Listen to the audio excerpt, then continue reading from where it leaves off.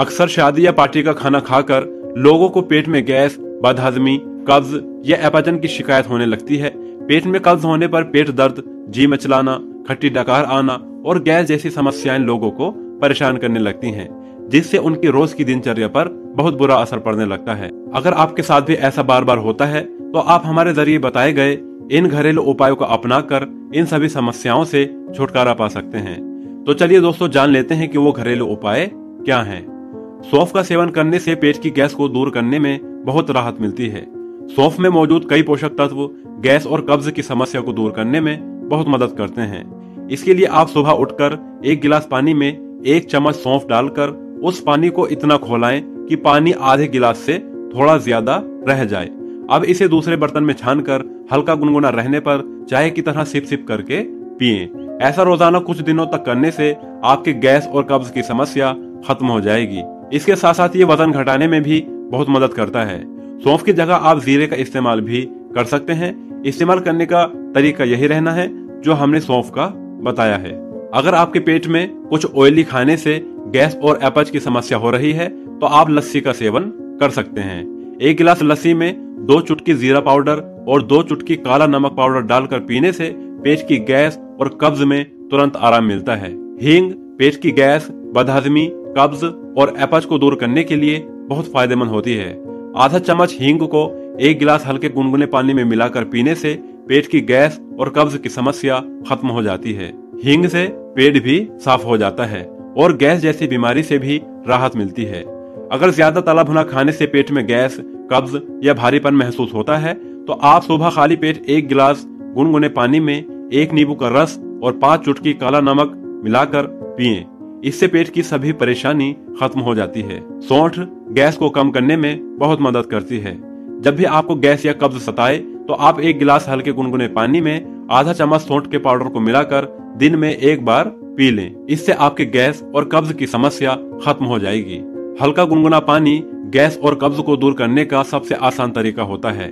Body में पानी की भरपूर मात्रा शरीर को स्वस्थ रखने के लिए बहुत ज़रूरी होती है। एपच होने पर दिन में नॉर्मल पानी की जगह हल्का गुनगुना पानी चाय की तरह सिप सिप करके पीते रहना चाहिए। इससे गैस और कब्ज में बहुत जल्दी आराम मिलता है। ये एपच गैस और कब्ज का सबसे आसान इलाज होता है। कुछ ध्यान रखने वाली बातें जो आपके पेट और स्वास्थ्य के लिए बहुत फ़ायदेमंद होती हैं, जिसे करने से कभी भी आपके पेट में गैस, कब्ज और अपचन की समस्या नहीं होगी। जैसे कि पीने वाली कोई भी चीज़, जैसे पानी, दूध या जूस को हमेशा खाना खाने के एक घंटे पहले या एक घंटे बाद पिया करें। खाना खाने के तुरंत पहले या तुरंत बाद पीने वाली चीज़ें नहीं पीनी चाहिए, क्योंकि इससे पेट में खाने को हजम करने वाली आग बुझ जाती है, जिसकी वजह से पेट में गैस, कब्ज और अपचन की समस्या होने लगती है। आधा खाना खाने के बीच में आप हल्का पानी पी सकते हैं। और एक बात का हमेशा ख्याल रखें कि पीने वाली चीज़ को हमेशा बैठकर ही पीना चाहिए। खड़े होकर पीने से पानी घुटनों में चला जाता है जिससे गठिया की बीमारी हो जाती है। सुबह का नाश्ता थोड़ा भारी करें, दोपहर में खाना हल्का खाएँ और रात का खाना दोपहर के खाने से भी हल्का खाया करें। खाने को खूब चबा चबा कर खाना चाहिए।